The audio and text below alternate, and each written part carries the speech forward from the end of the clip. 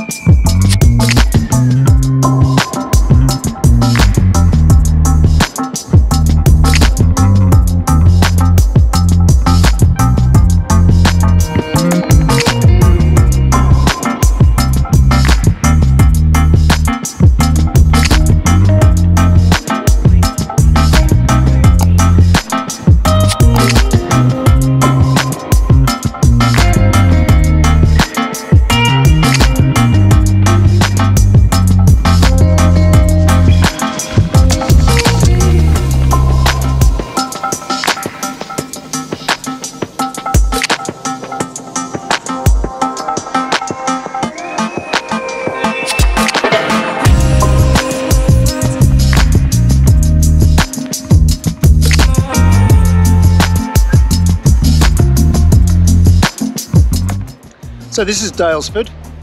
We are stopping here to get a coffee and then we'll go to my auntie's, which is about another five kilometres from here in Hepburn Springs.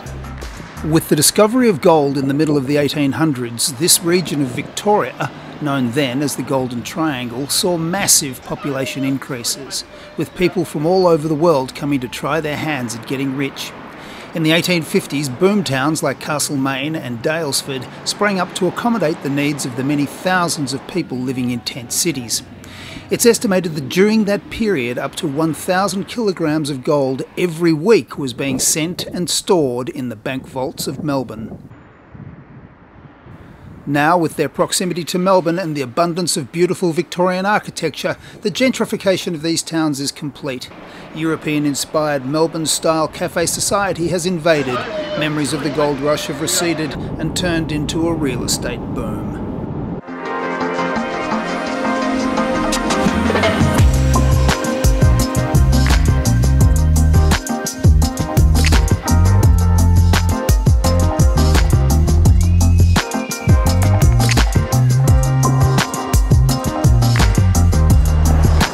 Well, I finished my lunch with my auntie, uh, and that was lovely. I hadn't seen her for three years, and she's 82, so it was very nice to catch up.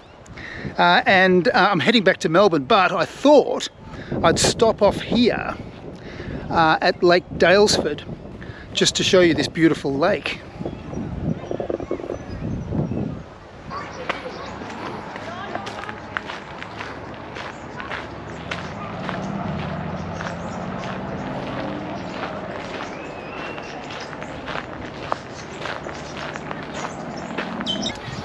It's a fairly popular place now, but when I was young, it wasn't quite so popular. But it's always been this Daylesford, the township, has always been a beautiful example of um, sort of uh, late um, 1800s boom time uh, Victorian architecture.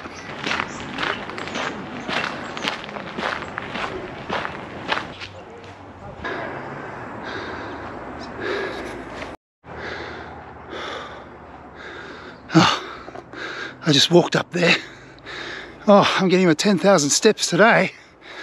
I'm taking a shortcut back to the uh, to where I parked the car, and as usual, I think I'm lost. so I hope you've enjoyed this little foray into country Victoria. Uh, and if you have, if you could like and uh, subscribe, that would be wonderful. In less than two weeks, we'll be in Southeast Asia again.